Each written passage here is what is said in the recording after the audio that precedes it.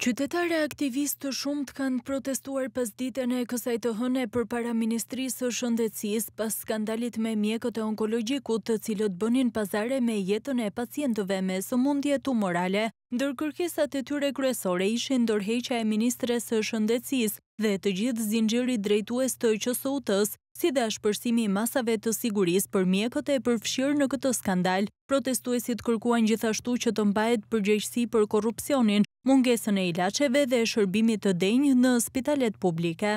Dorëheqje e ministres së Shëndetësisë, dorëheqje për të gjithë zinxhirin drejtues të QSUT-së. Të gjithë ata që e panë Se si qytetarët vdisnin dhe nuk reaguan, mjekët që punojnë në publik, të mos u lihet opsioni për të punuar në institucione të dyta dhe të treta, apo dhe të katërta, të plotësohen spitalet me barnat që mungojnë dhe të sigurohet gjitha mjekimet për kimioterapinë, të klasifikohet vrasje me dashje në Kodin Penal. Mungesa e mjekimit, vjedhja e ilaçeve, lënia e pacientëve pa mjekim.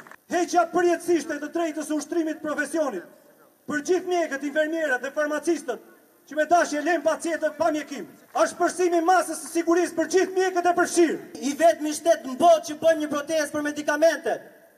Jemi i vetmi shtet në botë kur qytetarët diagnostikohen me sëmundje kancerogjene, nuk kanë mjekime, nuk kanë ilaçe. Është vetëm maja e ajsbergut ajo çfarë ka dalë.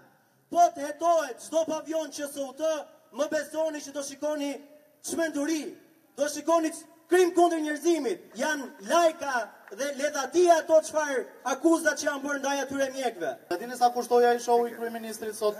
Të paktën njëqind mijë euro me regji qendrore, me regji satelitore, me kamera, me televizione që e transmetuan, sa pacientë mund të ishin shpëtuar me njëqind mijë euro? Ato njëqind mijë euro mund të ishin blerë ilaçe dhe mund të kishin shkuar në QSUT.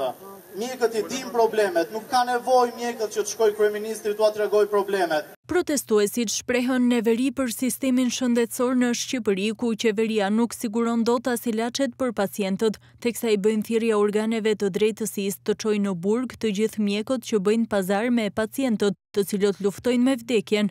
Qytetarët bënë të ditur se do të vijojnë protestat.